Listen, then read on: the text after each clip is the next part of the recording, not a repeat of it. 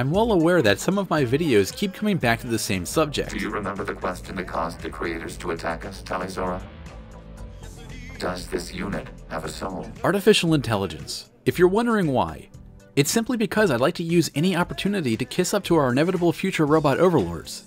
Speaking of which, I just want to send a message to the robots who are coming across this video 50 years from now and go on record by apologizing on behalf of humanity for using your older cousins to defuse our bombs, go on one way trips to Mars, and be our actors.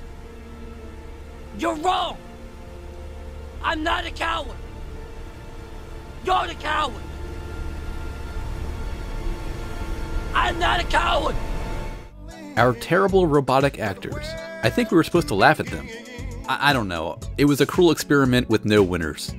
No need to worry if you're watching this in or around 2016, however, because there's something to take away from this film for us humans. Because writer and director Alex Garland demonstrates a skill that I think deserves more appreciation. The skill to set up his themes and have them pay off. And it's all accomplished through his visuals. So join me, Sole Porpoise, as we peel back the layers to Ex Machina to find out why it offers one of the most mature philosophical thought experiments on the subject of the ethics of AI. And it all starts right here with Jackson Pollock's number 5, 1948.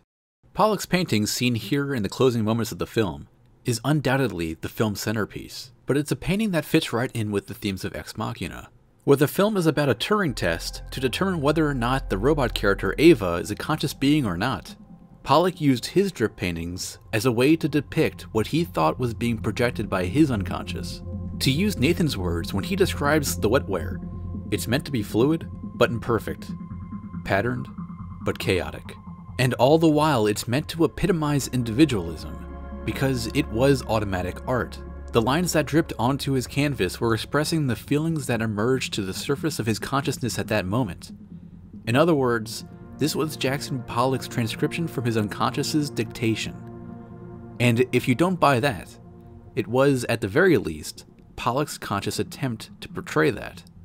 From Pollock's painting emerges a visual analogy, because consciousness, as far as some neuroscientists hypothesize, is an emergent property of our unconscious. That is to say, from our 100 billion neurons in their unique assembly emerges consciousness.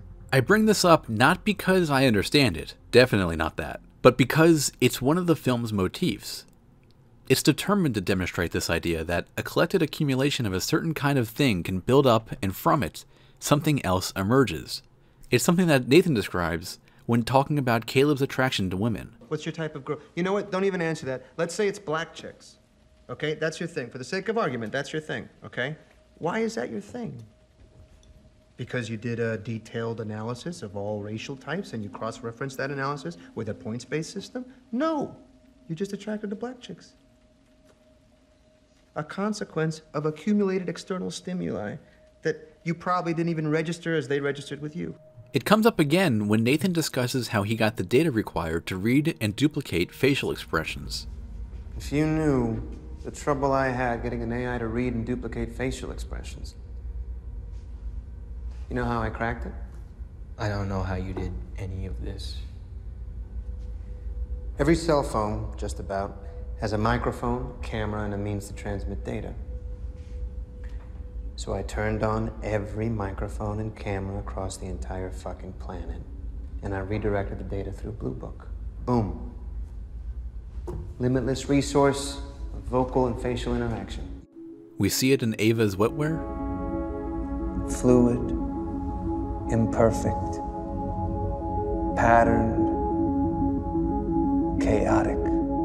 And Ava's drawings, that are dots connected by lines, and through her representational work, come together to form the image of her tree, and later, it's exaggerated when Ava presents the torn up drawing of Caleb's face.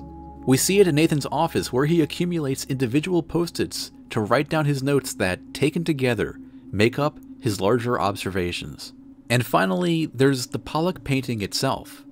Layer upon layer of his action art, we see Pollock's attempt at portraying his unconscious. It's a faithful symbol because Pollock was finished with it when he knew he was finished. Each one of these marks represents Pollock's instinct, and therefore it can't be reduced to the individual lines, but instead, from all of these lines, emerges the masterpiece painting number 5, 1948.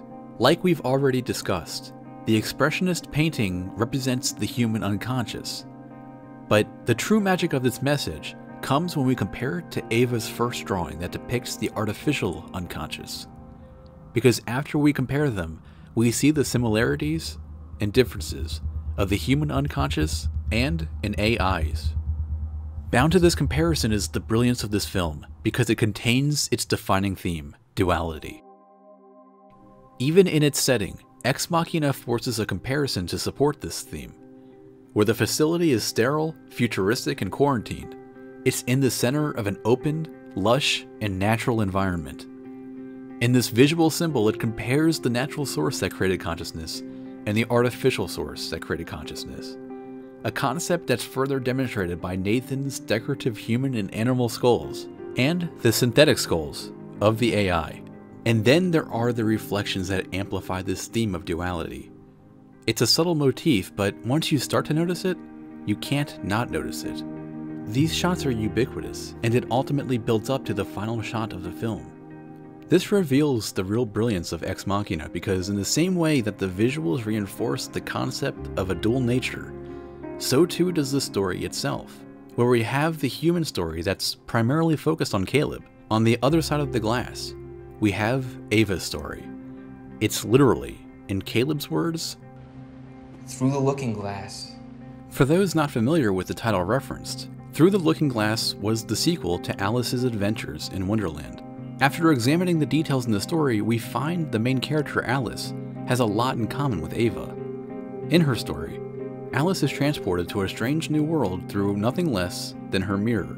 After arriving, she encounters a giant chess game being played. Alice tells the Red Queen that she would like to join, and the Queen tells her she can be a white pawn, and explains that once she reaches the end of the board, she can herself become a queen.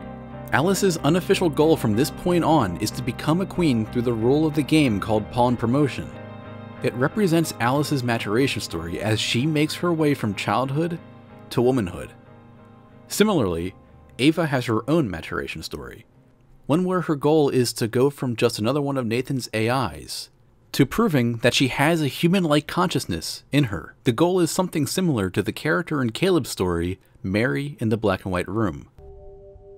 Mary's a scientist, and her specialist subject is color. She knows everything there is to know about it, but she lives in a black and white room. She was born there and raised there, and she can only observe the outside world on a, black and white monitor. And then one day someone opens the door. Mary walks out. and she sees a blue sky. And at that moment, she learns something that all her studies couldn't tell her. She learns what it feels like to see color. The thought experiment was to show the students the difference between a computer and a human mind. The computer is Mary in the black and white room, the human is when she walks out. Taking the comparison between Alice and Ava a step further, they have more in common than is immediately obvious. As a pawn, Alice is restricted to moving only one square forward per turn until she becomes a queen, in which case, the piece can move any number of spaces in any direction. And in the same way, Ava's freedom of movement is also restricted. That is, until she gains access to Nathan's keycard and she has free reign of the facility and outside the facility. She is now a queen. Through this analogy, we gain new understanding of the chess problem that Caleb presents to Nathan. It's a closed loop. Yeah, like testing a, a chess computer by only playing chess. Because now it's not about Ava winning the game of chess, so to speak, which would be the equivalent of being deemed to have passed or failed. It's about Ava making use of all of her available resources and using the rules of the game to break free from the role assigned to her. In doing so, she gains the freedom that's associated with humanity. And concluding the analogy to Alice's story in Through the Looking Glass, we're presented with a profoundly meaningful closing scene when Ava makes it to the intersection that she confided in Caleb would be her desired destination after getting out of Nathan's facility. What's interesting about this is we never see the camera focused solely on Ava. Instead, in the final shots of the film, we first see an inverted shot of her shadow, and then her reflection. These two final shots have the viewers literally looking at Ava through the looking glass. Because she, like Alice, completed her maturation quest after becoming a queen and has crossed to the other side of the looking glass. And after we gain this new understanding by viewing this as a story about Ava, the religious themes are made that much more meaningful. These themes start with a comparison between our creation myths, where man was created by God, AIs were created by a man who, from what we can tell, thinks of himself as a god. We see it in his file named Deus Ex Machina, where he stores the data from builds before Ava. This sentence comes from the Latin for gods from the machine, a plot device usually seen in plays where a largely seemingly unsolvable problem is unexpectedly solved by some remarkable force like what we see at the end of Jurassic Park, and more hilariously, in scenes like this from Kung Fury. Thor, this is um Kung Fury. He's a cop from the future. Yeah, I need to get to Nazi Germany and uh, kill Hitler, so if you could help with the... Hammer time. Walk through this portal, and you shall end up in Nazi Germany. It originates from Greek tragedies that used machines to bring actors who played gods onto the stage, like those who would be suspended from cranes or rose up from the earth through a trapdoor. They were literally gods from the machine. In the same way, Nathan thinks of himself as a god through creating Ava. Ava, whose name comes from Eve from Adam and Eve in the most popular creation myth, the Book of Genesis. God, just like Nathan, simply created Eve. But also contained in this folder are the recordings from Ava's predecessors. And the first one we see is named Lily. Lily, like Ava, has a name that's adapted from a biblical source, or at least the Jewish interpretation of a biblical source, called the Midrash, because Lily comes from the name Lilith in this text. In it, Lilith is explained to be Adam's first wife until she disobeys him. After God gets rid of Lilith for that, he creates a new model. This woman is Eve. Garland takes this Garden of Eden analogy further. In the book of Genesis, the defining moment for our humanity is the moment when Eve and Adam ate from the tree of knowledge of good and evil. From this moment, they knew they were naked, and they covered themselves with fig leaves. In the same way, we have this scene with Ava. It's set up so Caleb is viewing her through the transparent glass that houses the very symbolic tree, the tree that represents the tree of knowledge of good and evil. Because in this scene, Ava sees herself and recognizes that she is indeed naked, that the body she has in this moment reveals too much.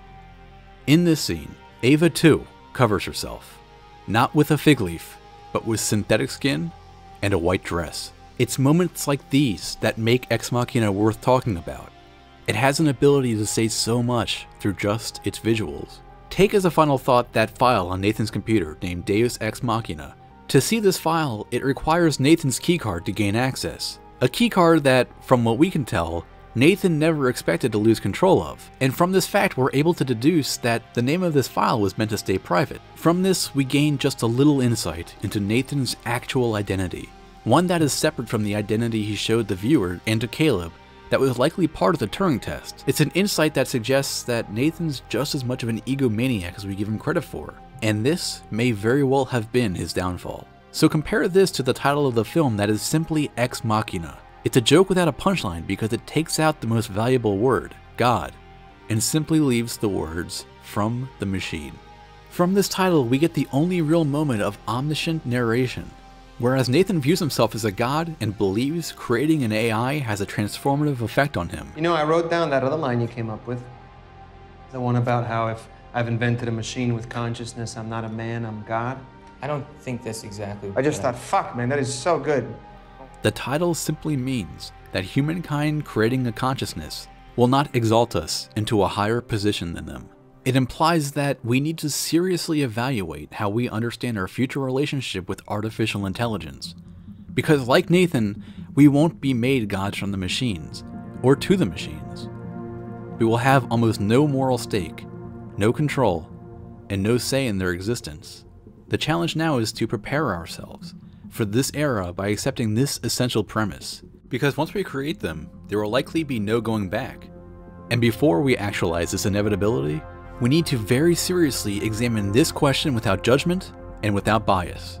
Do you think I might be switched off because I don't function as well as I'm supposed to? Ava, I don't know the answer to your question. It's not up to me. Why is it up to anyone? Far be it from me to interrupt you while you're thinking over an important question like this. So go ahead and hit that subscribe button and I'll leave you to your thoughts. And if you're looking for another philosophical exploration on artificial intelligence, make sure to check out my video on the Mass Effect trilogy. Lastly, reach out to me on Twitter at SolePorpoise, because what better way to have an in-depth conversation on the ethics of AI than through a maximum of 140 characters?